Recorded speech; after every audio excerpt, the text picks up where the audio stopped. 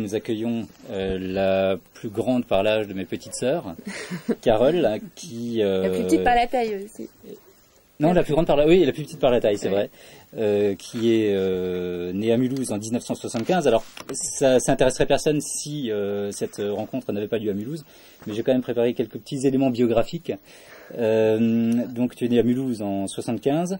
tu étais à l'école maternelle de La Vanne, puis à l'école primaire de Freinet. Alors, je le dis parce qu'il y a peut-être des instits, des, anciens profs dans, dans l'assistance.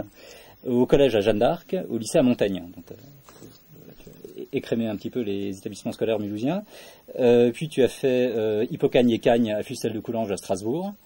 Euh, tu as brillamment intégré l'ENS rue d'Ulm à Paris. Et il me semble que tu as réussi la même année le CAPES et la GREG. Hein, c'est ça? Non, de non, non, c'était pas la même année. La ah, le CAPES puis la GREG, dans l'ordre. Voilà. Et tu as soutenu ta thèse de doctorat en 2007 8, 8. je sais plus. À l'école pratique des hautes études sous la direction de Myriam Revaud-Dallon, la philosophe euh, aussi spécialiste de philosophie politique et de Hannah Arendt, bien connue. Euh, tu collabores de temps en temps ou régulièrement à la revue Esprit et euh, tu interviens régulièrement sur France Culture. Et tu as récemment, alors ça c'est pour clore le, petit chapitre bibliographique, tu as récemment été choisi par les éditions du Seuil pour t'occuper de la prochaine édition critique de Qu'est-ce que la philosophie Non, qu'est-ce que la, qu'est-ce que la politique pardon, de Hannah Arendt. Voilà. Alors, euh, tu viens donc de publier euh, cet essai, Fin de la philosophie politique, aux éditions euh, du CNRS, qui est une comparaison des théories politiques et de philosophie politique d'Anna Arendt et de Léo Strauss. bon, inutile de dire que tu, ou alors tu le diras aussi, que tu prends nettement parti pour l'une contre l'autre. et la première question que, que je souhaitais te poser, c'est qu'est-ce que euh, la philosophie politique au XXe siècle et euh, de quand euh, peut-on dater cet événement finalement Est-ce que c'est un événement qui est un événement de naissance ou c'est un événement de fin qui consiste en l'événement totalitaire? Merci en tout cas de m'accueillir ici. Moi aussi, je suis très émue. voilà, alors c'est vrai que l'une des questions qui peut se poser, et je pense que implicitement c'est celle que tu poses, c'est la question du titre.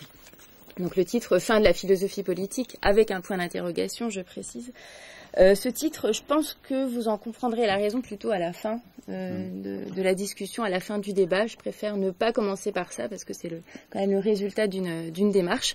En revanche, je suis d'accord pour partir de l'événement totalitaire donc du totalitarisme comme événement majeur euh, du XXe siècle et qui a conduit euh, les philosophes et les intellectuels euh, en général à réinterroger les fondements mêmes de la pensée politique. Alors le totalitarisme, je ne vais pas pouvoir en faire le tour ici maintenant en quelques minutes, mais je peux mettre en valeur quelques-unes de ses caractéristiques essentielles et celles qui justement suscitent euh, de nouvelles démarches et euh, suscite l'urgence de la, de la pensée, l'urgence de, nouvelles réflexions. Euh, D'une part, c'est un régime qui, euh, en dépit de la diversité de ses formes, hein, et notamment la forme stalinienne et la forme nazie, donc le Troisième Reich, euh, un régime politique qui se définit ou qui se caractérise en tout cas par sa criminalité, c'est-à-dire que c'est un, régime, un État qui est en lui-même un État, un État criminel. Autrement dit, au cœur même du XXe siècle apparaît un mal particulier, un mal euh, qui peut être considéré comme un mal inédit et qui est un mal d'origine politique. Donc l'État se fait lui-même criminel. Autre dimension du totalitarisme, qu'on parle du stalinisme ou qu'on parle du nazisme, ce régime a la particularité de faire ce, de euh, d'établir une corrélation de fait hein, dans la réalité même entre deux dimensions qui euh, le définissent, le codéfinissent, euh, la dimension de la terreur, donc l'usage de la terreur comme moyen de, gouvernement, et la présence extrêmement forte d'une idéologie qui fait la cohérence même du régime et qui permet d'expliquer, on va dire, l'adhésion massive hein, d'une population entière ou quasi entière euh, un ensemble d'idées, justement, alors idées euh, qui ne relèvent pas nécessairement de la pensée, mais plutôt d'une cohérence interne hein, qui trouve à se réaliser euh, dans la réalité même. Par ailleurs, donc je parlais de forme de, mal, hein, le mal totalitaire, conjonction inédite donc de, l'idéologie et de la terreur. Concrètement, ça veut dire aussi, dans le régime totalitaire lui-même, anéantissement de la liberté sous une pluralité de formes. On peut même dire de la liberté sous toutes ses formes, que ce soit la liberté privée, hein, l'usage de la possibilité de rechercher le bonheur comme on l'entend. Il est évident que dans un régime de terreur, c'est pas trop possible en tout cas pas pour tout le monde et sans doute euh, pour personne en réalité. Euh, la liberté de penser, hein, l'idéologie même, c'est l'interdiction de la pensée, l'idéologie dans son sens négatif, hein, dans son sens extrême, hein, dans le totalitarisme, l'interdiction de la pensée, euh, l'anéantissement de toute réflexion qui sortirait du cadre établi par les idées dominantes, celles qui sont censées nous dire le début et la fin de tout, la vérité même de la nature humaine. Et enfin aussi, hein, mais je pourrais en donner d'autres, hein, anéantissement de la liberté euh, politique, c'est-à-dire la possibilité d'agir en commun. Donc on a différentes formes de liberté hein, qu'il ne s'agit pas nécessairement de, hiérarchiser, mais qui se trouvent avoir disparu euh, au sein même euh, des régimes totalitaires, et ce pour, on va dire, la totalité des gens qui sont soumis. Alors autre particularité, et là je vais parler plus particulièrement du nazisme, il est vrai que le totalitarisme euh, prend naissance, dans le cas du Troisième Reich, sur fond de démocratie. C'est-à-dire que l'une des questions qui se posent au cœur du XXe siècle, c'est de savoir comment la République de Weimar a rendu possible l'émergence en son sein euh, d'une forme de régime qui est radicalement antidémocratique. Par ailleurs, autre élément de contexte, comment un régime de cet ordre-là, comment le mal politique a-t-il pu prendre naissance dans une civilisation qui, voudra, qui pourra être qualifié euh, sans hésitation de civilisation élevée, avancée. On a affaire à un haut degré de civilisation, en particulier du point de vue de la science, du point de vue de la technique, donc haut degré de culture. Comment cela est-il possible alors que apparemment ce n'est pas dans un monde de barbares, et je mets barbares entre guillemets. Comment un tel mal politique a pu émerger euh, dans une, une, représentation finalement de la civilisation comme progrès continu ou comme progrès euh, perpétuel? Donc voilà l'événement totalitaire, voilà comment euh, on en est amené, on est amené hein, euh, du point de vue de la philosophie, du point de vue des intellectuels et du point de vue des hommes en général euh, à penser quelque chose qui apparaît comme nouveau. Alors du coup, pourquoi convoquer Anna Arendt et Léo Strauss? Voilà, alors justement, c'est que euh, cet événement totalitaire, il a été reconnu comme un événement par euh, beaucoup de monde. Hein. C'est pas qu'une affaire de philosophes, c'est pas qu'une affaire de penseurs professionnels, c'est même pas simplement une affaire d'intellectuels. Ce qui est important, c'est euh, de remarquer, et ça c'est un diagnostic ou un constat qui a été partagé par les deux auteurs dont je m'en parle hein, et que je confronte justement, donc Léo Strauss et Anna Arendt, les deux ont constaté par ailleurs ce qu'on peut appeler euh, la disparition de repères traditionnels, la disparition de valeurs qui étaient euh, traditionnellement admises. Alors, c'est une disparition dont on fait encore le constat aujourd'hui. On dit actuellement assez facilement qu'il n'y a plus de respect, on dit qu'il n'y a plus d'autorité, on dit qu'il n'y a plus de tradition, qu'on n'a plus de repères. On dit euh, également euh, qu'il n'y a plus de religion, ou alors il y a un retour du religieux, mais en tout cas le religieux aurait disparu hein, au milieu du XXe siècle, plus de place pour la religion. Certains ont même été jusqu'à dire que les idéologies totalitaires sont venues prendre la place d'une religion qui avait déserté euh, les esprits, qui avait déserté les peuples. Autrement dit, on a une piste là qui s'ouvre à partir du moment où on met en relation euh, le totalitarisme comme fait politique majeur hein, de destruction de la liberté quand on met en parallèle ce fait-là avec la disparition des autorités traditionnelles, la disparition de ce que Hannah Arendt appelle la triade religion, autorité, tradition, on peut se dire hein, assez logiquement que peut-être le deuxième volet événementiel, hein, cet euh, événement de la disparition des autorités traditionnelles, pourrait très bien être la cause du premier événement. Autrement dit, allons chercher, pourquoi pas, l'explication du côté de la perte des autorités traditionnelles. Donc on a deux événements au cœur du XXe siècle, l'événement totalitaire, l'événement de la disparition ou de la destruction de certains repères traditionnels. Quelle est la relation qu'on peut établir entre ces deux dimensions? Alors pourquoi est-ce que je suis allée chercher du côté de Léo Strauss et de Hannah Arendt? Tout simplement parce que ces deux penseurs, qui sont d'ailleurs euh, tous les deux euh, d'origine allemande, qui sont tous les deux juifs, qui ont tous les deux euh, émigré aux États-Unis à l'arrivée du nazisme, alors pas exactement à la même période, mais bon, qui ont vécu en gros à la même époque. Hein. donc Hannah Arendt est née en 1906 et est morte en 1975. Léo Strauss est né en 1899 et mort en 1973. Tous les deux ont enseigné par la suite à Chicago et à New York. Ils ont eu des trajectoires, on peut dire, euh, parallèles. Tous les deux ont fait ce constat euh, d'une crise de la modernité, on peut appeler ça une crise de la modernité ou une crise du monde moderne. Tous les deux ont reconnu cette disparition des formes traditionnelles de pensée, des formes traditionnelles de réflexion, d'autorité. Tous les deux ont accordé une importance, euh, alors plus ou moins grande, hein, en fait, on verra, une importance à l'événement qu'on va qualifier donc provisoirement encore d'événement totalitaire pour y revenir par ailleurs. Alors pourquoi cette confrontation? Parce que devant une situation qu'ils qualifient tous les deux comme situation de crise, et c'est encore pas la même chose de dire événement et de dire crise, les deux euh, constatent la même chose, mais formulent finalement des explications qui sont radicalement différentes et formulent des exigences pour les penseurs de l'époque, pour les hommes de l'époque en général, des exigences qui sont encore les nôtres aujourd'hui, qui sont radicalement euh, opposées. Autrement dit, devant la crise, il y a plusieurs réactions possibles.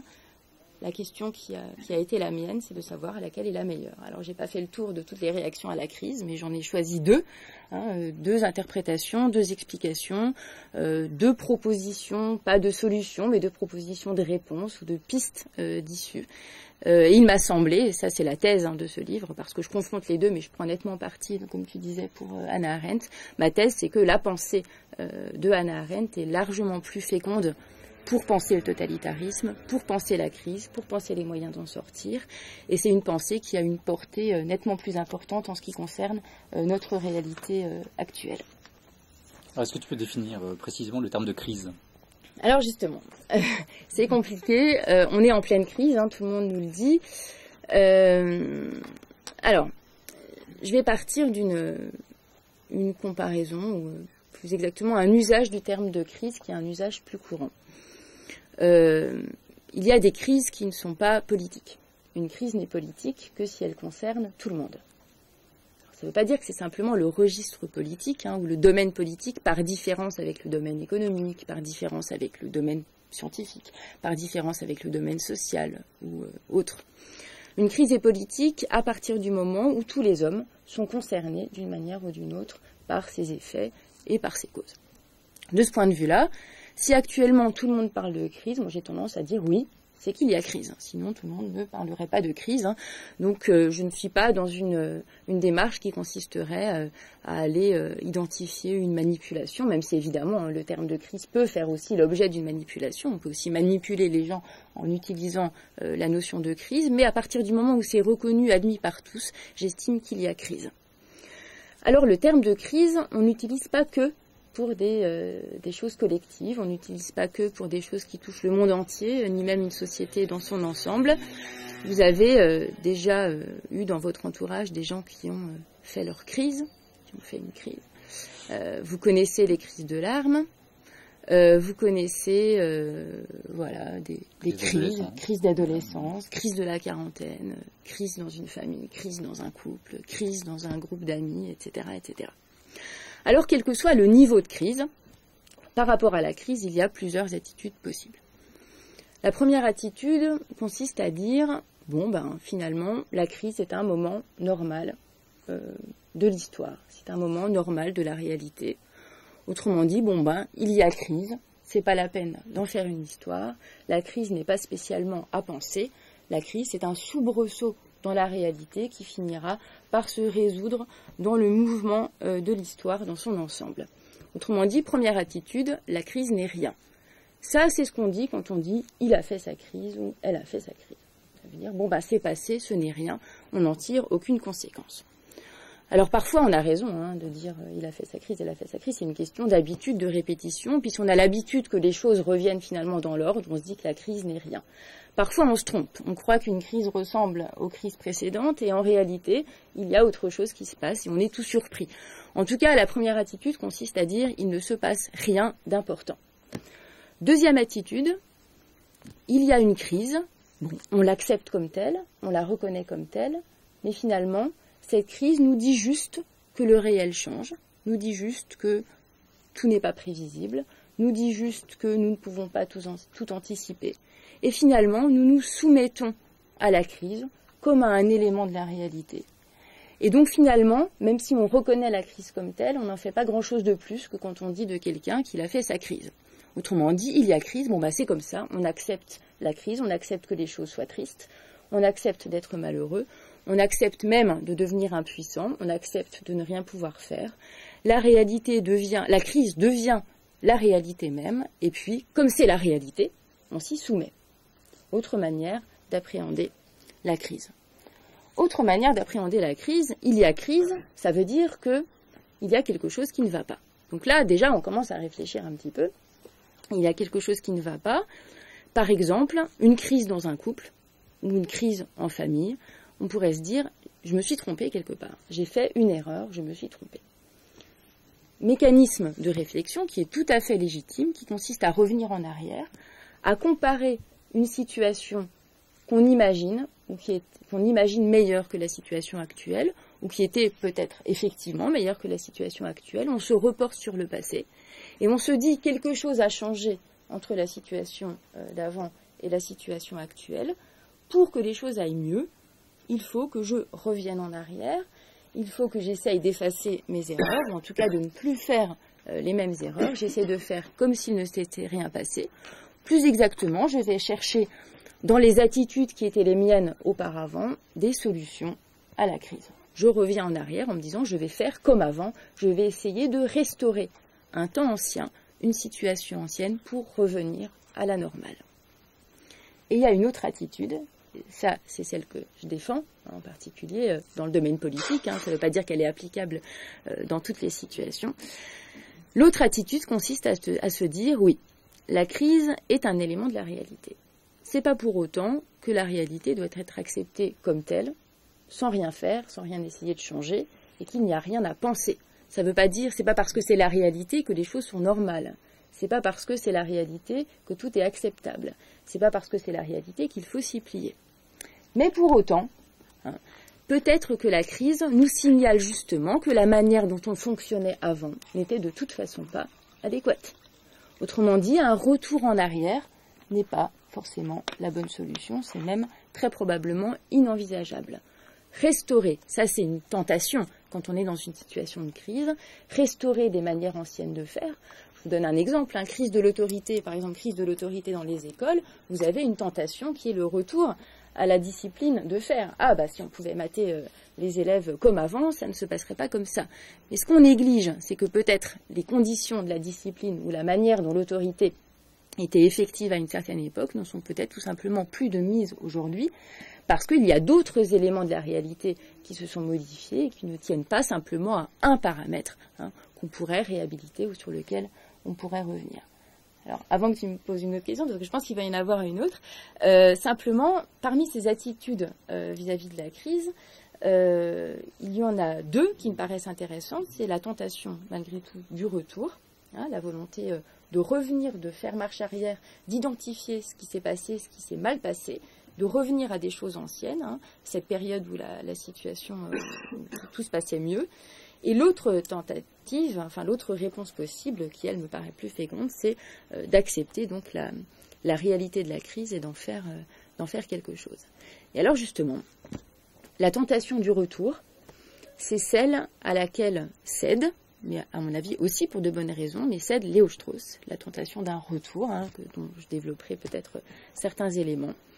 Et euh, l'attitude qui consiste à s'emparer de la crise pour pouvoir euh, se réemparer d'un pouvoir justement qui nous, a été enlevé.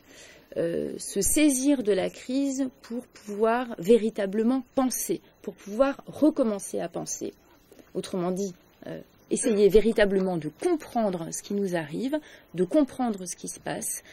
C'est selon moi le choix hein, euh, d'Anna Arendt, c'est le cœur même de la démarche arendtienne. Et mon analyse, hein, c'est que cette démarche a une portée qui est nettement plus puissante. Euh, c'est une démarche qui permet justement de saisir beaucoup mieux le sens de ce qui nous arrive et d'en saisir aussi les enjeux euh, et la portée, euh, y compris actuelle. Parce que voilà, même si nous ne sommes pas dans une situation de crise totalitaire, nous sommes dans une situation de crise. Ça ne veut pas dire que le parallèle peut être euh, établi hein, de manière euh, stricte. Évidemment, les deux situations ne se ressemblent pas à tout point de vue. Par contre, à partir du moment où il y a crise, il y a forcément des attitudes semblables qu'il est nécessaire d'adopter. De ce point de vue-là, hein, étudier la manière dont on a pu penser la crise totalitaire ne peut que euh, nous donner de bonnes leçons, nous être un bon enseignement pour penser la crise actuelle. Mais alors, Léo Strauss et Anna Arendt ont des conceptions très très différentes d'envisager cet événement totalitaire, euh, chacune entrant dans une, dans une logique philosophique. Euh, Léo Strauss euh, pense un retour aux valeurs, pense aux valeurs de la philosophie classique, la philosophie grecque, avec la recherche de la vérité, l'imposition en réalité des valeurs à la réalité. De l'autre côté, Anna Arendt comprend cet événement totalitaire et la crise et les événements en général comme étant des processus ou des, euh, des réalités à intégrer dans le cadre d'une nouvelle réflexion euh, sur, euh, sur, l'histoire, sur sa réalité au monde. donc on voit qu'il y a deux, mouvements qui sont pas simplement différents, mais qui sont opposés dans l'intention. Hmm. L'intention des, deux auteurs est radicalement différente. Euh, donc, comme je disais tout à l'heure, hein, l'attitude de Léo Strauss euh, revient en grande partie, même si là je simplifie évidemment pour les besoins de la cause aussi, revient en grande partie à une intention de retour. Mais cette intention de retour est légitime et aussi elle est justifiée. Hein. Il ne défend pas un retour comme ça par principe, par pure, euh, pure nostalgie. Et la démarche d'Arendt est, différente. Alors concernant leur rapport à la philosophie, j'en reparlerai. la démarche de Léo Strauss se veut intentionnellement philosophique. Elle se définit comme un retour à la philosophie J'expliquerai euh, pourquoi. Euh, c'est que selon lui, la philosophie grecque, c'est la vraie philosophie. Donc il y a quelque chose qui a été perdu depuis cette époque-là, non pas irrémédiablement perdu, puisqu'on peut y revenir. Hein. C'est ça l'avantage de l'origine, c'est que autant le commencement, on ne peut pas y revenir, autant une origine, on peut y revenir. Euh, donc c'est ça sa démarche à lui. autant Anna Arendt, elle va faire, va choisir de se démarquer de la philosophie politique et donc euh, le, travail qu'elle va opérer sur euh, les philosophes du passé, sur les penseurs du passé, euh, ne se définira pas comme un travail de retour. Alors concernant euh, Léo Strauss, euh, pour expliquer un petit peu sa démarche, ça suppose que j'intègre aussi un paramètre dont je n'ai pas encore parlé. Concernant euh, les constats qui sont partagés par les deux auteurs sur la réalité du monde moderne et la réalité du XXe siècle, je parlais tout à l'heure de crise de l'autorité, crise de la tradition, crise de la religion, ce qu'on peut appeler par ailleurs, ce que Max Weber a appelé le désenchantement du monde. on peut parler également d'autre chose qui est le relativisme des valeurs. Et tous les deux font ce constat qu'on appelle le relativisme des valeurs, c'est quelque chose qui est encore très partagé actuellement, c'est que finalement, bah voilà, on a les faits. Parmi les faits, il y a l'idée que les hommes se comportent selon des systèmes de valeurs. Vous avez un système de valeurs, vous avez un système de valeurs, toi tu un système de valeurs, moi j'ai un système de valeurs. Les systèmes de valeurs ne sont pas tous exactement les mêmes. Ce qui m'a étonné, euh, c'est le peu de cas qui est fait dans l'analyse de la religion, puisque à côté du politique, c'est la religion et le politique qui sont au fondement des sociétés. Euh, et on parle effectivement de façon assez, euh, assez peu euh, de la valeur de la religion. je ne sais pas si c'est Arendt et Strauss qui, font cette espèce de, substitution. Même, même Saint-Augustin, à un moment donné, vous en parlez dans leur livre, on en fait un politique et pas du tout un religieux. Alors, que par exemple Marcel Gaucher euh, met le doigt en mm. disant euh, dans les totalitarismes, dont d'ailleurs on, peut intégrer le fascisme italien, euh, et, c'est une religion séculière. Alors justement, aucun des deux. Alors Léo Strauss, lui, parle plus de, religion que, que Anna Arendt. Alors, tout à fait. Alors ça On peut en discuter. Ça fait partie des choix de pensée. Hein. Je veux dire, on pourrait remettre ça en question. Le principe même de la, de la philosophie, c'est aussi de poser des, des choses, hein, et puis de réfléchir sur les fondements justement qu'on établit, et de toujours réfléchir sur ses propres présupposés. Dire que la religion et la politique fondent la société, c'est une interprétation tout à fait euh, légitime, hein, tout à fait défendable. En tout cas, c'est pas celle dans laquelle je, je m'inscris. En tout cas, cette interprétation supposerait justement conduirait nécessairement à dire qu'à partir du moment où il n'y a plus de religion, il n'y a plus de société. Quand il n'y a plus de religion ou de fondement religieux d'une société, la société disparaît ou euh, n'est plus, euh, euh, on va dire, vivante ou n'est plus en rapport avec son propre principe. Donc évidemment, c'est assez pratique hein, dans la mesure où ça permet de diagnostiquer, enfin d'établir la disparition de la religion comme étant la cause essentielle de nos problèmes. Hein. Moi, je suis pas dans cette perspective-là. Simplement, je, parce qu'il faudrait que je puisse quand même expliquer cette, cette histoire de cette démarche de Léo Strauss. là où c'est vrai, c'est que dans mon livre, j'ai pas beaucoup parlé de religion. Euh, parce que voilà, mon, optique était essentiellement euh, la question du, du pouvoir politique, hein, de la possibilité de la liberté politique. Et la liberté polique euh, est, à mon avis, quand même foncièrement différente de la liberté religieuse, même si évidemment le politique, hein, comme aussi lieu d'expression d'une diversité d'opinions, de conscience, etc., implique aussi euh, la possibilité que euh, l'appartenance religieuse soit dite et soit euh, exprimée et soit objet de, de discussion et, et, de débat. simplement, concernant cette idée que l'idéologie, par exemple, est remplacée la religion, ou que l'idéologie, comme une idéologie totalitaire, soit de la religion sécularisée, ça c'est une, une, interprétation à laquelle je m'oppose radicalement et à laquelle euh, s'oppose d'ailleurs euh, Anna Arendt. Euh, il y a une, une, une idée hein, qui, qui, se, qui, se, tient, hein, qui a aussi du sens, qui consiste par exemple à dire que si les gens ont pu croire de manière aussi forte au nazisme, ou ont pu croire de manière aussi forte euh, au communisme. Hein. Alors après, le communisme, il y a plusieurs formes, etc. Mais en gros, à l'idée communiste, c'est parce que justement, il fallait bien que quelque chose vienne occuper la place qui avait été euh, perdue euh, par le, ou laissée vide par la religion. Alors moi, j'y crois pas du tout. j'y crois pas du tout dans la mesure où il y a un déplacement de la fonction que peut avoir un ensemble de représentations à son sens propre. Or, autant, je serais d'accord, à la limite, je pourrais être accepter que, à certains égards, alors à certains égards, hein, dans un, je dirais même une petite dimension, que euh, une idéologie puisse tenir place de religion, puisse tenir le rôle de la religion à certains égards. Autrement dit, qu'une idéologie puisse avoir un tant soit peu la fonction d'une religion. Par exemple, adhérer à quelque chose, croire à un ensemble de principes, se déporter, euh, inscrire sa vie dans une transcendance hein, qui dépasse donc l'existence concrète euh, elle-même, autant estimer que idéologie et religion finalement se ressemblent ou ont presque que, que l'idéologie serait de la religion sécularisée, c'est nier complètement la différence de contenu simplement entre une religion et une idéologie. Vous prenez une religion, le contenu, ne serait-ce que le contenu moral d'une religion, est radicalement différent du contenu euh, morale d'une idéologie comme l'idéologie nazie ou l'idéologie communiste.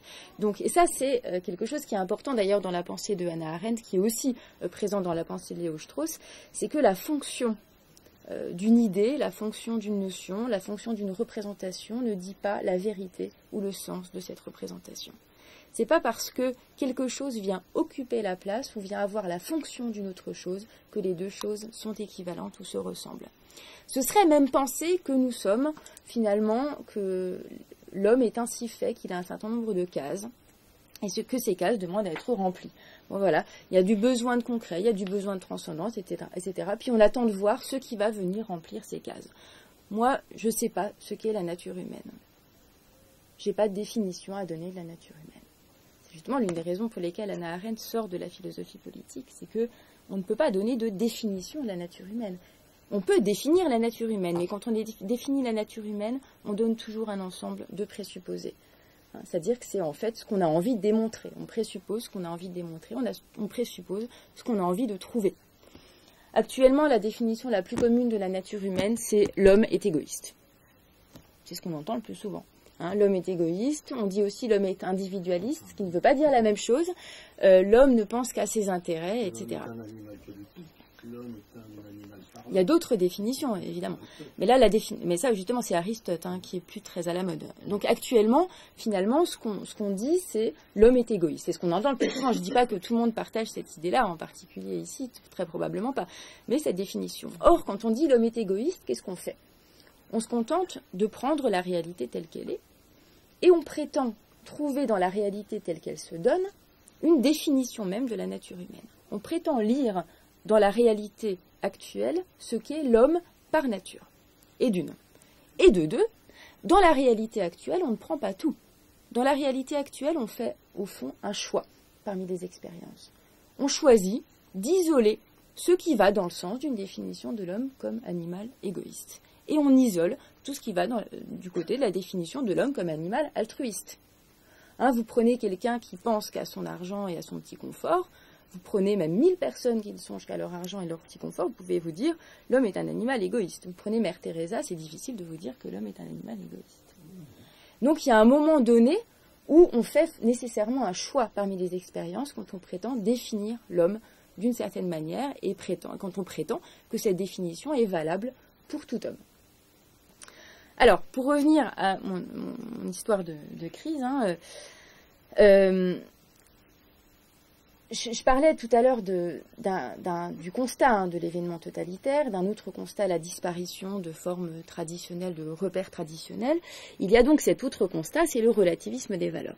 Ça, j'insiste là-dessus parce que c'est vrai que c'est une, idée qui est encore communément partagée. Euh, à la limite, tout ce à quoi on croit a de la valeur à partir du moment où on croit à quelque chose. Ou encore, ce qui est bien, c'est de s'engager quand bien même on s'engagerait dans quelque chose d'horrible, ou alors quelque chose avec lequel on est en profond désaccord.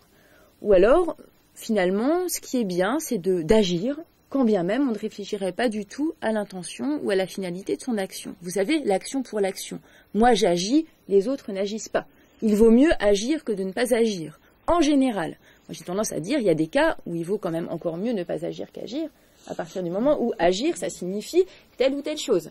Donc voilà le type de problème qui se rencontre, l'action pour l'action, l'engagement pour l'engagement, la croyance pour la croyance, le système de valeurs pour le système de valeurs. Autrement dit, nous avons tous des systèmes de valeurs, mais on va très vite en besogne quand on dit que nous avons tous des systèmes de valeurs radicalement différents les uns des autres. Moi, je suis sûre qu'on pourrait en débattre très longtemps, mais on risque de trouver beaucoup plus de points communs dans nos valeurs morales que de différences. Ce qui est frappant, c'est plutôt à quel point les hommes finalement s'entendent sur ce qui est moral et ce qui est immoral, plutôt que euh, à quel point les systèmes de valeurs sont différents. Or, l'idée qui court, l'idée qu'on entend le plus souvent, c'est chacun sa morale. Autant de tête, autant de morale, comme si la morale était une affaire de goût particulier. Comme si euh, définir le bien et le mal, c'était la même chose que préférer la vanille ou le chocolat. Ça, c'est un constat qui est fait aussi par Léo Strauss et Anna Arendt, tous les deux, le relativisme des valeurs. On a des valeurs, et c'est bien d'avoir des valeurs, quelle que soit la nature de ces valeurs. Autrement dit, on abandonne la réflexion sur la valeur des valeurs. Toutes les valeurs n'ont pas la même valeur. Ça, c'est un fait qui est déjà analysé par les deux auteurs et on peut dire par certains côtés, à certains égards, dans le même sens, dans la même direction.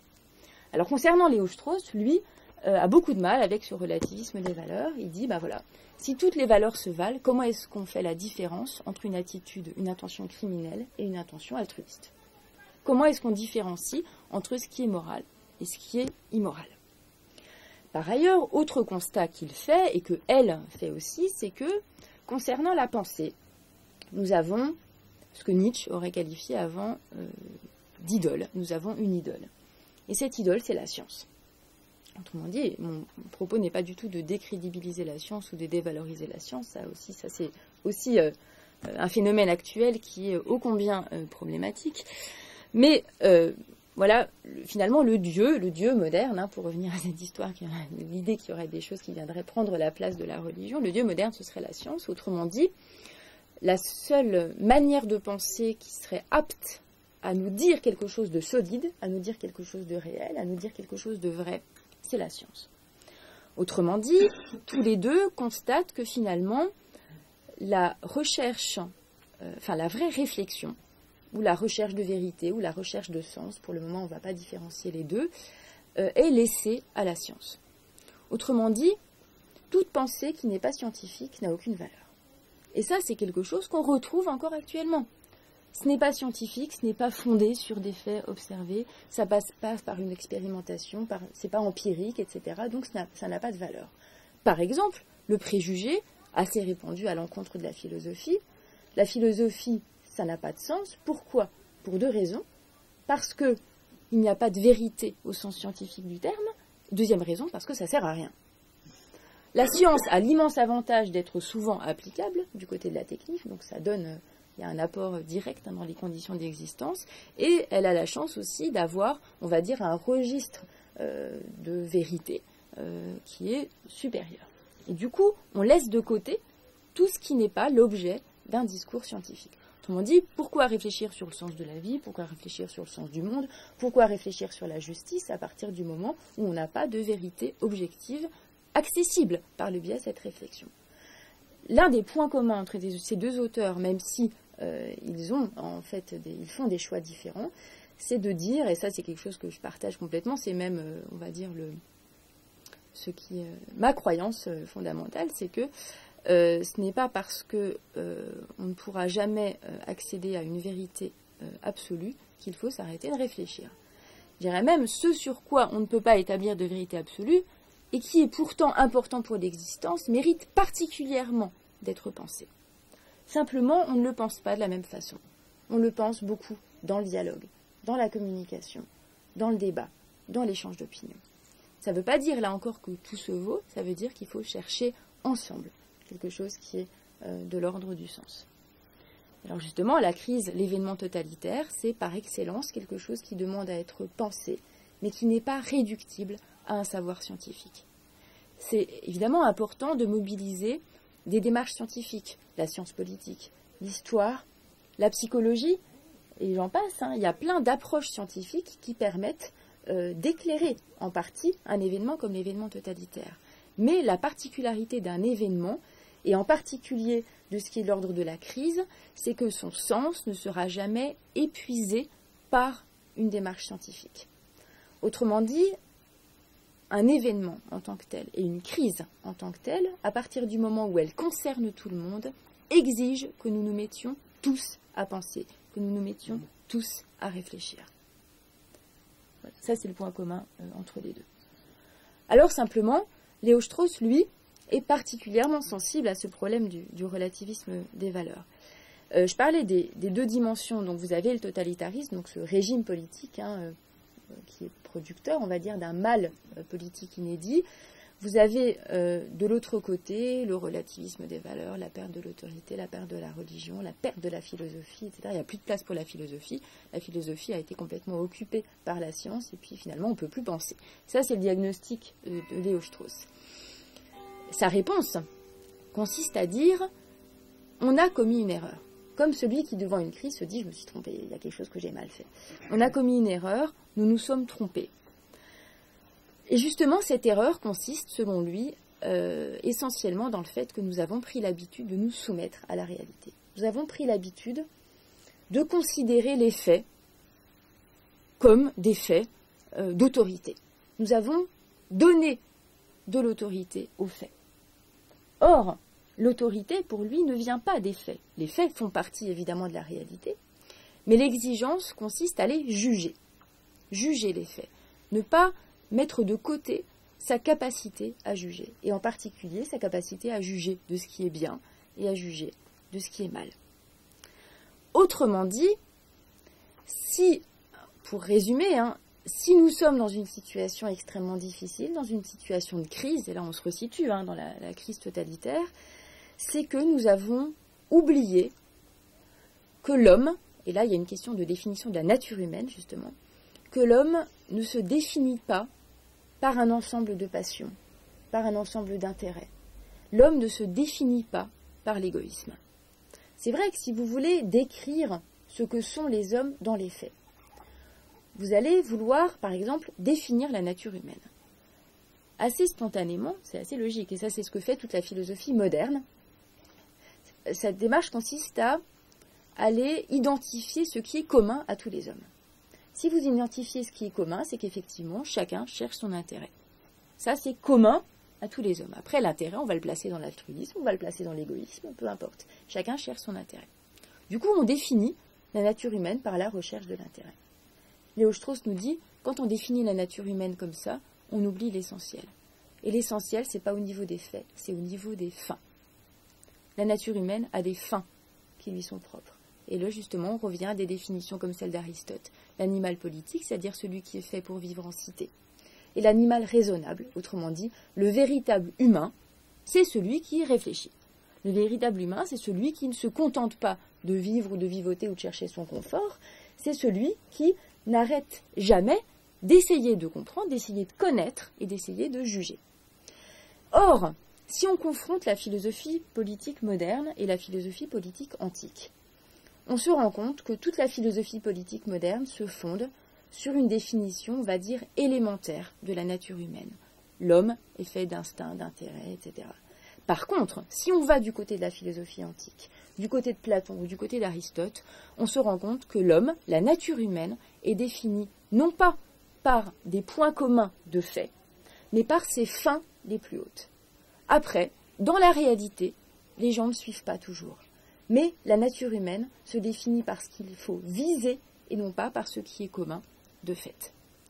D'où la réaction à la crise, hein, pour résumer, pour Léo Strauss, consiste à se redonner les moyens de penser véritablement, autrement dit, de penser une nature humaine exigeante, hein, de ne pas laisser de côté, par exemple, l'exigence de justice, ne pas laisser de côté l'idée qu'il y a du bien et qu'il y a du mal.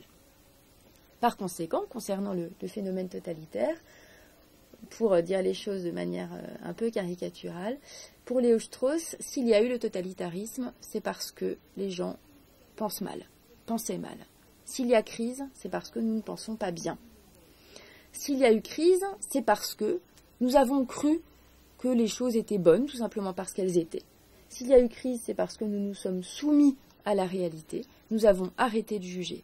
Si nous n'avions pas arrêté de juger, nous aurions pu reconnaître le mal quand il a commencé à arriver et nous aurions pu y mettre fin. D'où le fait que Léo Strauss n'emploie presque pas, même si j'ai parlé d'événements totalitaires, il n'emploie pour ainsi dire pas le terme de, de totalitarisme. Pour lui, totalitarisme, c'est un mot qui a été inventé, comme si la réalité nous apportait quelque chose de nouveau, alors qu'en fait, ce n'est qu'une forme de tyrannie.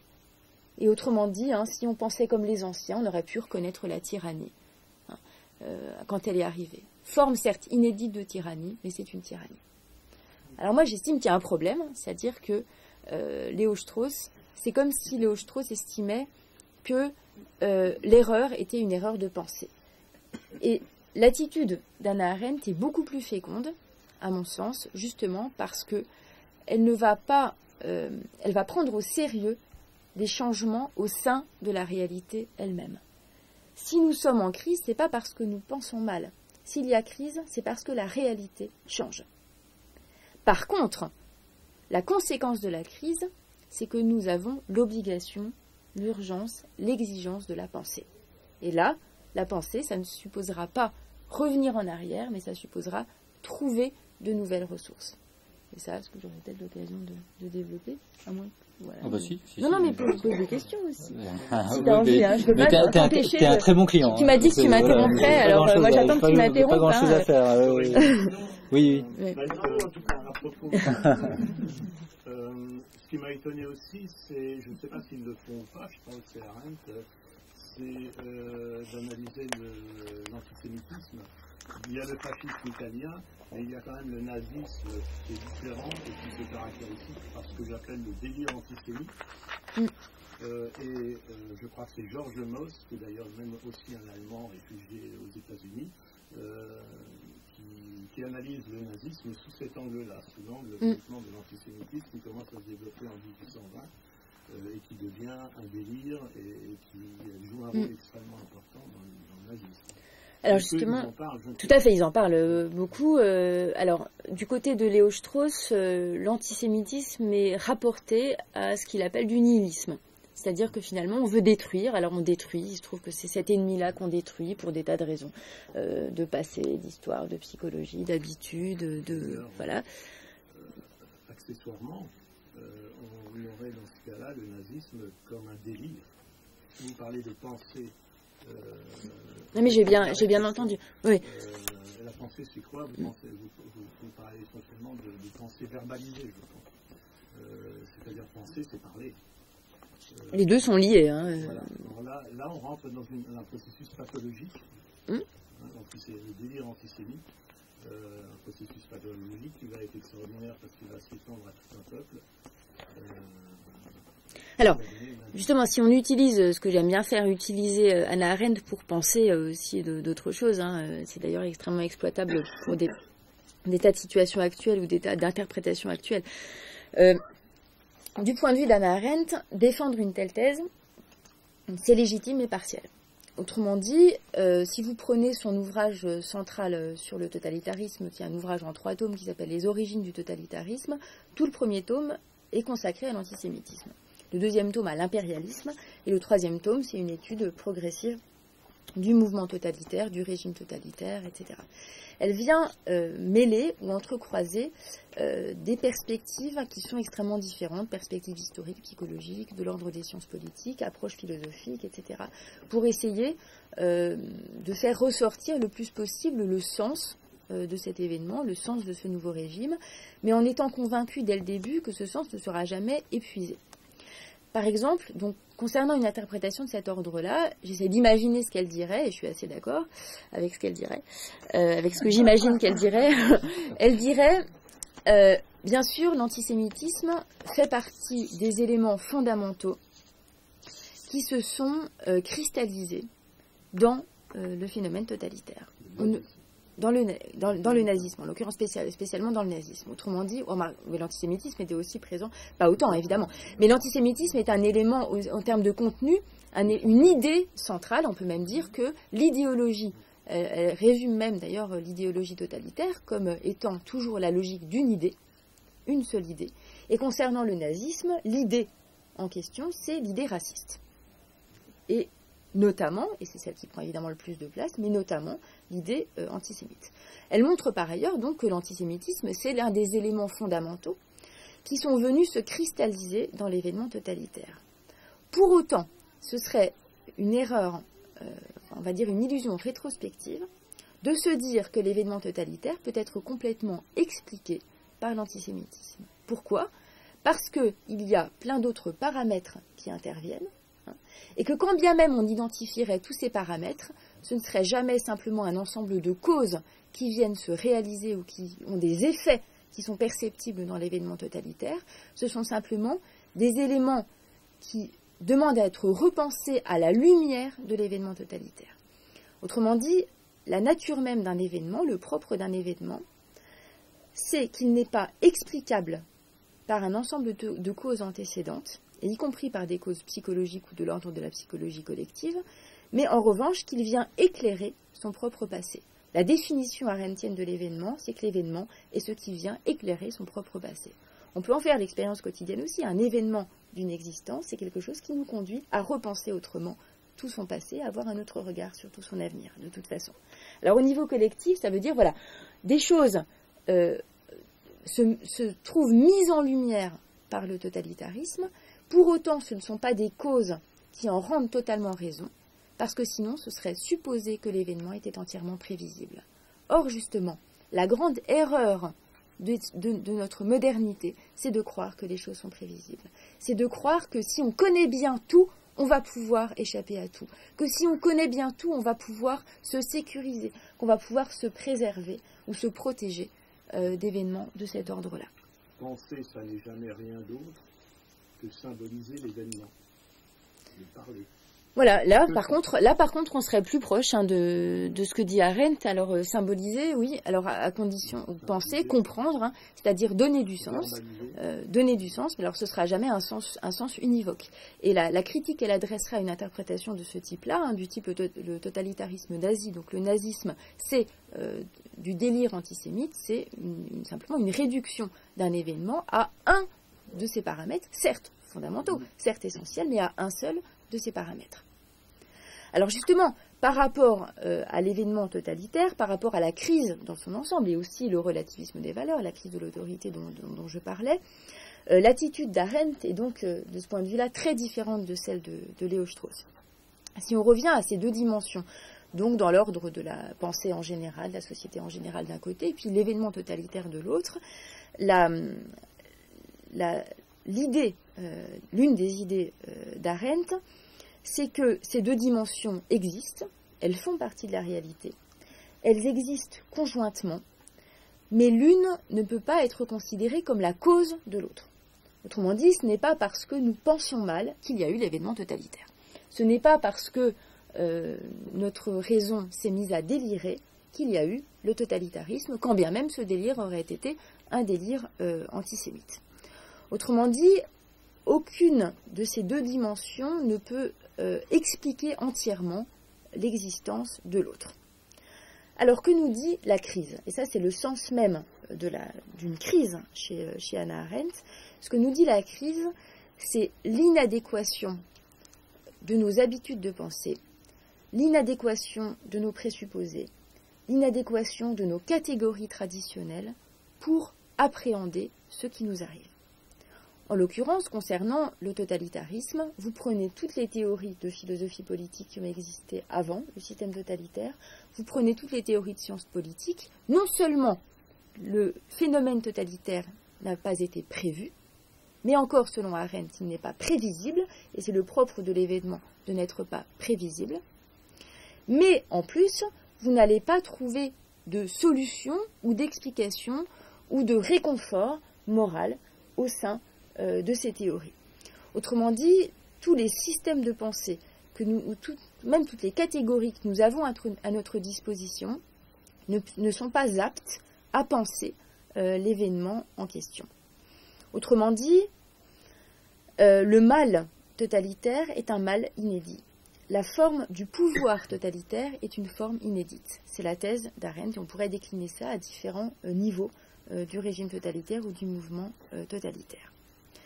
Ça veut dire aussi personne n'a prévu, mais personne n'aurait pu prévoir. Autrement dit, la réalité change. Et oui, la réalité change. On ne peut pas vouloir, on peut essayer, on ne peut pas vouloir tout prévoir. Et donc finalement, que nous montre une crise et que nous montre cette crise. Et c'est valable aussi pour la crise actuelle. Ce que nous montre la crise totalitaire, c'est d'une part que ce que nous pensions assuré, prévisible, tranquille, ne l'était pas. Par exemple, hein, l'idéologie du progrès, eh ben, voilà. Plus exactement, le progrès lui-même était une idéologie pas évidemment du même degré, de la même nature que l'idéologie nazie, mais le progrès lui-même n'était qu'une idéologie et ne disait pas la réalité certaine d'un processus. Bah, je termine juste, si vous permettez, cette question de ce que nous dit la crise, parce que la crise nous dit encore deux autres éléments selon Arendt. La crise nous dit aussi, et ça c'est la spécificité de cette crise-là, la crise nous dit que les conditions de l'existence humaine peuvent être détruites. Elles ont été détruites, elles sont détruites à un moment même de l'histoire, elles peuvent être détruites, contrairement à ce qu'on croyait. On croit que les choses sont pour toujours, bon ben, ça peut être détruit. Ce que nous dit également la crise, c'est que le savoir, et ça c'est important aussi, le savoir, la connaissance, n'est pas simplement à notre disposition. La connaissance n'est pas euh, quelque chose qui est présent, actuel et qui demande simplement à être saisi, je suppose simplement d'aller le chercher. Le savoir n'est pas non plus à notre disposition dans un passé lointain, hein, comme ce que pense Léo Strauss, c'est-à-dire dans le passé de la philosophie euh, antique. Plus fortement encore, la science, évidemment, euh, a une importance fondamentale. Elle ne dit pas que la science n'a pas d'intérêt, hein, ni même les sciences humaines, même si elle est critique par ailleurs euh, l'égard aux démarches des sciences humaines. Évidemment, tout cela, toutes, les, démarches scientifiques ont une portée et ont un intérêt, mais la science en elle-même n'est d'aucun recours direct quand il s'agit de penser ce qui nous arrive. Contrairement à ce qu'on croit actuellement et à ce qu'on espère actuellement. On aimerait bien que des experts nous disent ce que nous devons faire. On aimerait bien que des experts nous disent comment prévoir, nous disent ce qui va arriver, que ce soit en économie, que ce soit en psychologie, que ce soit dans d'autres, en sociologie, En sociologie, on attend la prévision de l'expert. D'ailleurs, l'expert, on lui fait une confiance absolue jusqu'au moment où on se rend compte qu'il se trompe. Et quand il se trompe, on en déduit que la science est inutile et que la science n'a pas de valeur. Or, la science, ce n'est ni inutile ni absolu. Ce n'est ni inutile ni directement utilisable. On a parlé donc de la prééminence de l'antisémitisme dans le nazisme, mais pour ce qui est du léninisme, euh, on peut très bien l'interpréter comme un délire scientifique.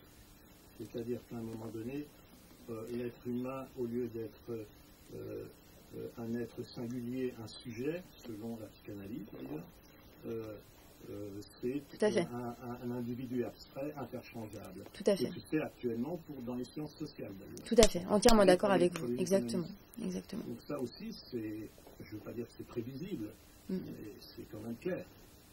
Oui, mais alors, justement, est-ce que pour autant euh, le scientisme pouvait nous, conduire à tous les coups euh, au totalitarisme? Bien sûr que non. Parce qu'il y, a une marge de manœuvre, c'est même, même, pas tellement une marge de manœuvre, il y a la possibilité d'intervenir, il y a la possibilité d'agir. Justement, euh, l'idée c'est ça aussi. c'est de... Quand on est dans ce délire univoque, mm. où l'idée mm. devient univoque, le scientisme, qu'on devient Cela dit, le scientisme est présent tout autant dans l'idéologie nazie. Hein elle est scientiste tout autant, hein, le darwinisme social, etc. Oui, d'ailleurs, il suffit de lire Mein Kampf, et c'est très, voilà, exactement. Très impressionnant de voir qu'Hitler explique, explique par écrit, euh, qu'il s'agit, quand on réunit euh, des individus singuliers, il s'agit de les fondre, de les sorclore dans une masse. D'ailleurs, le totalitarisme mm. travaille avec les masses. Bien sûr, bien sûr.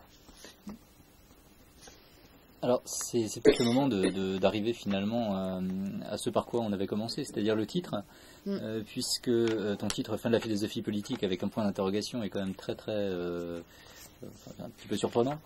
Alors, à la lumière de ce que tu viens de dire, ce, moment de l'événement totalitaire, ce qu'est-ce qui nous arrive, finalement, est-ce que c'est lui qui a décrété cette fin de la philosophie politique?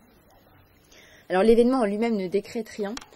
Euh, en revanche, et ça c'est la perspective euh, arendtienne, euh, un événement aussi majeur que l'événement totalitaire, dans la mesure où il montre justement l'inadéquation de toutes les catégories que nous avons à notre disposition, nous oblige, à partir du moment où on veut le penser, nous oblige à sortir de la philosophie politique. Ça ne montre pas l'échec de la philosophie politique, ça montre la philosophie politique comme étant quelque chose du passé. en fait, une crise a. Euh, il y a un revers de la crise, en fait. Euh, ce qui est dramatique, évidemment, dans la crise, c'est ce qu'elle peut produire concrètement, matériellement, euh, voilà, comme type de, mal ou de malheur. Ce qui est dramatique dans la crise aussi, c'est qu'elle montre notre impuissance. Mais la dimension positive de la crise, c'est qu'elle peut nous permettre de nous rendre compte que nos manières de penser étaient devenues des habitudes. Et donc, c'est l'occasion, en fait, de revenir aux questionnements fondamentaux, de revenir à l'essence des choses. Et donc, finalement, en l'occurrence, de penser l'expérience elle-même, l'expérience commune, euh, la capacité à agir, la capacité collective à penser euh, et à juger, en deçà des spéculations, en deçà des théorisations, en deçà euh, des désirs de systématisation, d'inspiration scientifique ou d'inspiration philosophique. Autrement dit, et là c'est un choix arendtien, euh, le choix c'est de prendre le parti du sens plutôt que celui de la vérité. Là où il y a sorti de la philosophie politique, hein, c'est que finalement pour penser ce qui nous arrive, pour penser ensemble, il faut chercher ce qui est de l'ordre du sens, il faut chercher du sens, il faut élaborer du sens, et pas forcément chercher la vérité ou une vérité. La recherche de la vérité a tendance à nous détourner du sens. Parce que la vérité, elle est indépendante du sens qu'ont les choses. Le sens, il est relationnel. Le sens, il existe entre les hommes. La vérité, elle existe indépendamment des hommes. Justement, la démarche scientifique d'objectivation consiste aussi à créer un écart entre l'homme et son propre savoir, entre l'homme et sa propre connaissance. Donc l'injonction arendtienne devant la crise et devant l'événement, et qui est valable encore aujourd'hui, et qui est valable de tout temps, c'est une injonction permanente c'est l'injonction à comprendre. Finalement, la modalité, la modalité commune de la pensée, celle qui n'est pas une affaire de penseurs professionnels, celle qui n'est pas une affaire de scientifiques, celle qui n'est pas une affaire de philosophes, celle qui est une affaire de tout un chacun, c'est la compréhension, c'est la pensée. Or, l'événement, finalement, perd son statut d'événement à partir du moment où personne n'essaye de le penser.